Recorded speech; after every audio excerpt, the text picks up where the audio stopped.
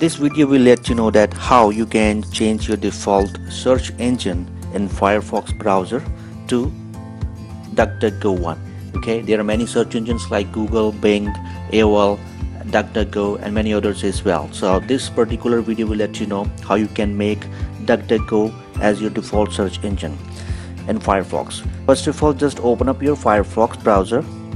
You need to navigate to the menu and go to the options from the list. And you will see all the settings will come up over the screen. Now from the left hand pane you need to just click on the search button here. And you can see as of now my default search engine is Google. That means if I type anything on the browser it will go directly on the Google search engine. Let me show an example here. Suppose I will go here.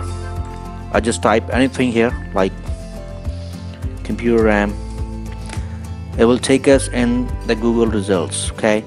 So how would you change that to the DuckDuckGo one okay? So now on the same page you can get down you can see you must have a list over here with certain search engines like Bing you have that amazon.com and you can find more search engines from here okay? But as of now if you want to change it to the DuckDuckGo so there is a drop down list here if you click on it and you just need to select this one DuckDuckGo okay? Now the search default search engine has been changed from Google to DuckDuckGo. So now let's try here. Go back or you can open a new tab. Now type here anything. Computer RAM. Type here. Now the search results comes with the DuckDuckGo search engine okay? You can see here.